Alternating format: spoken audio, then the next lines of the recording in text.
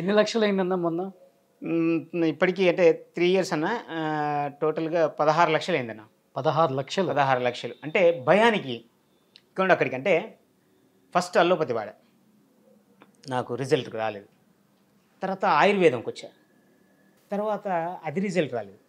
తర్వాత అక్కడ నుండి ఫుడ్ సప్లిమెంటరీ న్యాచురల్ ప్రోడక్ట్స్ అది వచ్చా. అక్కడ కాలేదు. ఏం చేయాలో అర్థమవుతలేదు మనిషి సన్నంగా అయిపోతుంది మనం సన్నగా అయిపోతున్నా. సన్నగా అయిపోతుంటే ఇప్పుడు ఎట్లుందంటే ఇప్పుడు మనం మామూలుగా ఇప్పుడు నీ నీ కనబడ్డ మూర్తి వేరు. సడన్గా నేను కనబడేసరికి అన్నా ఏమైంది? అంటే వెంటనే నాలో నెగిటివ్ థాట్స్. వాడికి చెప్పాలి ఇక నేను ఇక ఏమని చెప్పాలి? తమ్ముడు ఇట్లా అయింది ఇదైంది ఇదైంది ఇదైంది అని చెప్పి చెప్పాలి. మళ్ళీ కొంచెం దూరం అయిన తర్వాత అన్నా ఏందన్నా? నువ్వు అట్లా ఏమైంది? అరే చాలా ప్రాబ్లం ఎట్లయితే తెలుసా? ఒక్కొక్కరు ఎలా ఉంటారు మామూలుగా.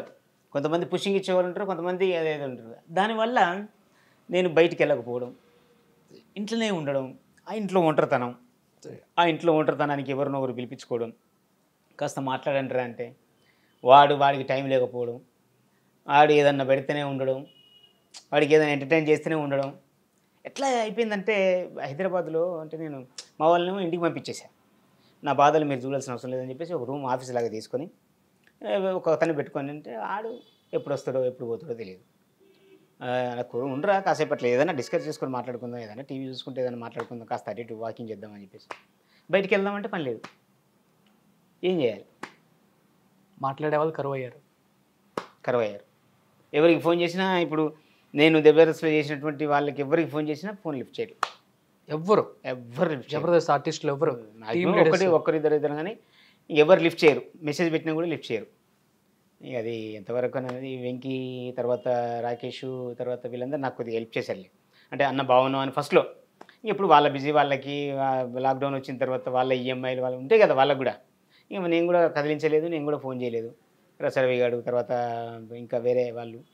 దాదాపు రెండు వందల యాభై ఎపిసోడ్లు జబర్దస్త్లో ప్రయాణం చేశారు. జబర్దస్త్లో ఎవ్వరికి ఆపద వచ్చినా కానీ మేమందరం ఒక ఫ్యామిలీ లాగా ఉంటాం. వాళ్ళ ఆపద నుంచి బయటపడేస్తాం అని బయట డైలాగ్స్ కూడా ఎక్కువ వింటుంటాం మేము. అంటే కనీసం మూర్తి గారు ఫోన్ ఎత్తడానికి కూడా టైం దొరకట్లేదా జబర్దస్త్? ఆర్టిస్టులకి అంటే మెసేజ్ బాధపడుతుంటారు అప్పుడప్పుడు? బాగా. మెసేజ్ పెట్టాను సార్ బాగా. అంటే తలుసుకుంటే వాళ్ళు చేయొచ్చు.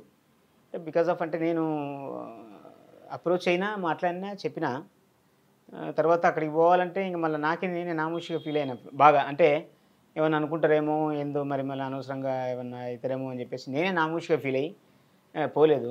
ఒకవేళ నేను పోయి అడిగితే ఏమన్నా చేయగలుగుతారేమో ఇప్పుడు పోయినా కూడా. ఎవరికి ఇంకా టచ్ చేయలేదు. పోనీ ఈ ప్రోగ్రాం ద్వారా చూసినా కూడా ఎవరైనా స్పందిస్తే చాలా హ్యాపీగా ఫీల్ అవుతాయి. ఎందుకంటే ముందు బ్రతకాలి సార్. ఇప్పుడు అయిపోయిన తర్వాత రిప్ అని పెట్టి ఓం శాంతి మంచి కళాకారుడు కళా గగనంకి ఎగి ఎగిసా ఎగిసాడు ఇన్ని ప్రోగ్రాం చేశాడు ఆయనకంటే ఒక ప్రత్యేక స్టైల్ ఉంది ఇవన్నీ ఎందుకు కామెంట్లు? ఉన్నప్పుడే. ఇప్పుడు నేనంటే health problem sir. Health problem లేకుండా ఇప్పుడు పునీత్ రాజ్ కుమార్ గారు ఉన్నారు. ఏమైంది? అవునా కదా? సడన్గా అంటే దయవేచ్ఛ మనం ఏం చేయలేం దానికి. అంటే ఉన్నప్పుడు మన సహాయం మనకు మనకు ఉన్న తోచినంత? ఇక దాని బ్యాక్గ్రౌండ్ ఆలోచించుకొని ఆడిట్లా ఆడట్లా అట్లా అంటే మనం ఏం చేయలేం సార్. నాలుగు గోళ్ళ మధ్య కూర్చొని నరకం అనుభవిస్తున్నారన్న? నరకం నరకం అనుభవిస్తున్నాను ప్రస్తుతానికి. కొద్దిగా నేను కొద్దిగా స్టామినా. అంటే ఇంకొక ఐదారు కిలోలు పెరిగితే నా పని నేను చేసుకుంటాను సార్. ప్రాబ్లం లేదు. మళ్ళీ నేను జబర్దస్త్కి వెళ్ళినా శ్రీదేవి డ్రామా కంపెనీకి వెళ్ళినా మల్లెమాలకి వెళ్ళినా డైరెక్టర్ శ్రీపాద గారు కావచ్చు లేకపోతే ప్రసన్న గారు కావచ్చు లేకపోతే మణికంఠ కావచ్చు ఎప్పుడు వద్దనులే పాపం వాళ్ళు. అన్న రా నువ్వు మూర్తి అన్న రా నువ్వు ఎప్పుడు ఆల్వేస్ వెల్కమ్ అని చెప్పేసి. కాకపోతే మనం నిలబడాలి చేయాలి కదా. మనం కూడా స్టామినాగా ఉండాలి చేయాలి కాబట్టి వాయిస్లో మళ్ళీ బేస్ తగలే మనదంతా ఒక డిఫరెంట్ కదా. అగ్లాండ కొన్ని బ్రహ్మాండ యక్ష గంధర్వ గానకోకిలం ఇచ్చినటువంటి కళాకారుడు అడవిలో లేలదుప్పులు మనబోతులు మార్గడ్డంలో వ్యాగ్రమ వల్ల కొండ సిలువల బల్లికముల సిల్లి మృగములు చేసినటువంటి వీరవనిత కుటుంబంలో పుట్టినటువంటి మిమిక్రీ మూర్తి ఎప్పటికీ పర్ఫెక్ట్గానే ఉంటాడు. సూపర్ అన్న. అది. అంటే నాకు ఒక ఒక్కొక్క ఒక టైప్ ఆఫ్ నాకు ఒక ప్యాటర్న్ అంటే నాకంటూ ఒక సపరేట్ ప్యాటర్న్ ఏర్పాటు చేసుకున్నటువంటి వ్యక్తిని అంటే నా నాకు కొన్ని ఊత పదాలు కొన్ని అవి ఇవి ఇవి చెప్పడం చేయడం ఒక్కొక్క చెప్పడం. దాంట్లో క్రికెట్ కామెంటరీని ఎట్లా చెప్తే బాగుంటుంది? బీభత్సంగా ఉన్నాయి కానీ బట్ అంటే వెనక పుషింగ్ ఒకటి ఫ్యామిలీ బ్యాక్గ్రౌండ్స్ కొంతమంది నాకు సెన్సిటివ్ అన్న నేను. ఏదన్నా సమస్య ఉంటే దాని గురించే ఆలోచిస్తాను నేను. అది అది అయిపోతే కథ నాకు క్లియర్ అయిపోద్ది. ఈ జబర్దస్త్ చేసినప్పుడు కూడా టైంకి డబ్బులు అందకపోతే రెంట్ కార్డు ఇబ్బంది అయ్యేది నాకు. రెంట్ కార్డు చాలా ఇబ్బంది అయ్యేది నాకు. పదివేలు రెంట్ పిల్లలు చదువులు కథ నాకు అవి అంద అందకపోయేది. ఇప్పుడు ఎలా ఉంటుంది ఇంట్లో? నువ్వు ఇంత జబర్దస్త్ చేస్తున్నావు కరెక్ట్ టైం కట్టలేకపోతున్నావు అంటే ఉంటుంది కదా ఒక ఫీల్. ఇంత పేరుంది నీకు అదండి మళ్ళీ ప్రోగ్రామ్ చేసినప్పుడు కూడా.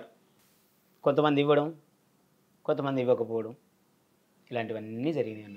జబర్దస్త్లో పేమెంట్లు ఇవ్వలేదా మీకు? పేమెంట్లు ఇచ్చేది. వాళ్ళ చెక్కులు వచ్చిన తర్వాత ఇచ్చేది కదా. నేనేమన్నదంటే సార్ నేను కంటెస్టెంట్ని నాకు కొద్దిగా అయిపోగానే ఇచ్చేసి మీరు తీసుకోండి అన్న అని చెప్పేసి అనేవాడిని.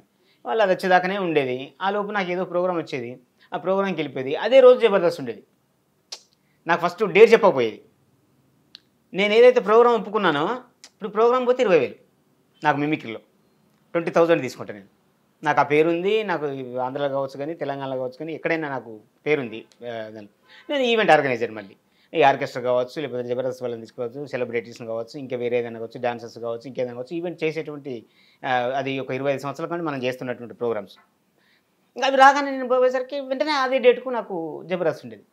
అన్న నేను ఇట్లా రాలేను ఇట్లా డార్లింగ్ ఇట్లా నాకు రాలేదని చెప్పేసి అంటే ఏ ఆయన రాడు సార్ ఆయన టైమింగ్ ఉండదు ఆయనకి సెన్స్ ఉండదని చెప్పేసి ఇట్లా ప్రచారం చేసి మొదలుపెట్టింది నెగిటివ్గా.